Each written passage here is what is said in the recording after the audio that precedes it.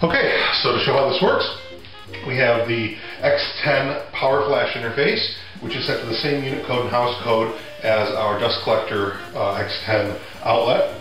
We have the uh, box right here that basically is going to uh, uh, control that unit. It's hooked up to that unit right here. And we've got just a couple doorbell switches that uh, in usual cases will be scattered around the shop in various spots.